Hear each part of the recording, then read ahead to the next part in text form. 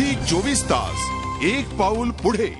महाराष्ट्राचा आनंद सोहळा म्हणून ओळखल्या जाणाऱ्या पंढरपूरच्या वारीला सुरुवात झाली आहे. तर दुसरीकडे फुटबॉल वर्ल्ड कप नंतर महत्वाची अशी युरो कप टुर्नामेंट पोलंड आणि युक्रेनमध्ये आजपासून सुरू होती. विठूनामाचा गजर करत निवृत्तीनाथांच्या पालखीनं पंढरपूरकडे प्रस्थान ठेवलंय. जगद्गुरू संत तुकाराम महाराज यांच्या पालखीचं प्रस्थान रविवारी दहा जूनला देहू इथून होत आहे तर ज्ञानेश्वर माऊलींच्या पालखीचं प्रस्थान अकरा तारखेला आळंदीहून होत आहे दोन्ही ठिकाणच्या पालख्या संस्थांनी जय्यत तयारी केली आहे. पालखी प्रस्थानासाठी देहू आणि आळंदी गाव सज्ज झाली आहे. राज्याच्या कानाकोपऱ्यातून विविध संतांच्या पालख्यांनी पंढरपूरकडे प्रस्थाने ठेवलं. येत्या तीस तारखेला आषाढी एकादशी निमित्त सर्व संतांच्या पालख्या पंढरपुरात असतील. आणि त्याचबरोबर लाखो वारकरीही या आनंदवारीत सामील होणार आहेत.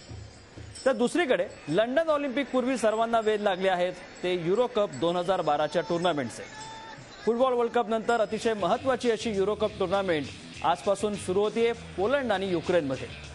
आठ जून ते एक जुलैपर्यंत रंगणाऱ्या युरो कप टुर्नामेंटमध्ये एकूण सोळा युरोपियन टीम्स चॅम्पियनशिप करता एकमेकांसमोर उभ्या ठाकणार आहेत. आणि आजची सलामीची मॅच होतीये ती पोलंड आणि ग्रीसमध्ये. त्यामुळे वारकरी आणि फुटबॉल प्रेमींसाठी एकाच वेळी मेजवानी. एकीकडे वारीचा उत्साह आपण बघतोय. दहा तारखेला जगद्गुरू तुकारामांची पालखी प्रस्थान ठेवणार आहे.